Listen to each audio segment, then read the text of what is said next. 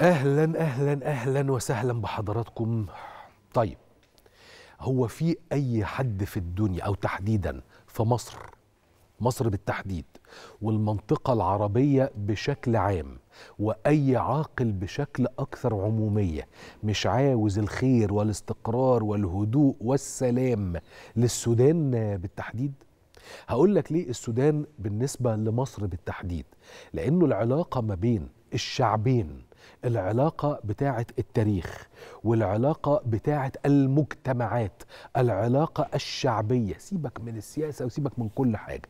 علاقة مصر والسودان علاقة شديدة الخصوصية. شديدة الخصوصية. يعني أنت في مصر لا تستطيع أن تفرق بين مصريا وسودانيا بالكتير قوي إلا من اللهجة إذا بانت أصلا. ونفس القصة بالمناسبة المصريين طول الوقت هم الشعب الأحب المقرب إلى نفس الشعوب أو الشعب السوداني على اختلاف شرايحه الاجتماعية. فعلى سبيل المثال اللي عايز أقوله لك إنه إحنا طول الوقت مصر والسودان ده مجتمع واحد شعب واحد تاريخ واحد بل هو دائما مصير واحد وتجمعه دائما وحدة المصير. فلا يوجد بلد في الدنيا. مصر حريصة على أمنه واستقراره قد السودان القصة مش متعلقة بأنها البعد الاستراتيجي المصري والحدود الجنوبية والشقيقة العربية والشقيقة الإفريقية. المسألة بالنسبة لنا أكبر من كده بكتير. ده واحد. اتنين هل العالم أصلا أو بالأدق تعالى أخدك على الحتة العربية الأول هل المنطقة العربية أصلا حمل أي توتر تاني؟ بالعكس.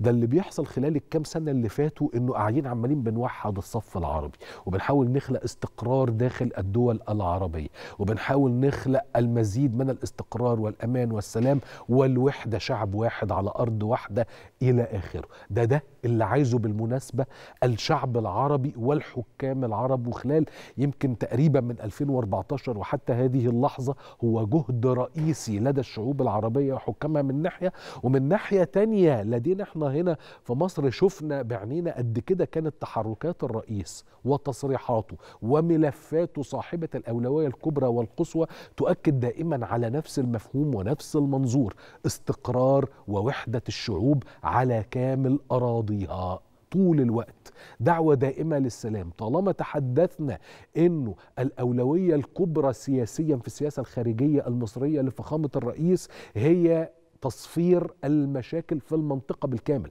مش بس المشاكل اللي ممكن تكون متعلقة بينا إحنا كدولة المنطقة بالكامل يجب أن تصفر مشاكل. في البرنامج ده المذيع يمكن طالما تحدث عن أنه قوتنا الحقيقية في وحدتنا العربية قوتنا السياسية في وحدتنا العربية قوتنا الاقتصادية في وحدتنا العربية قوتنا العسكرية في وحدتنا العربية. جميعنا مع بعض نمتلك مجموعة من المقومات إذا اتحدنا في استقرار وهدوء وسلام وأمان ولا حد يعرف يقرب لنا. وعلى هذا تجد أنه كل المنطقة العربية جامعة الدول العربية من ناحية هتلاقي الاتحاد الأفريقي من ناحية تانية حتى الأمم المتحدة يمكن تابعتوا الحديث ما بين فخامة الرئيس و أنطونيو جويتريش شفتوا البيانات بتاعة الجامعة العربية؟ الأخ الكل يحاول خلق استقرار وتهدئة في السودان.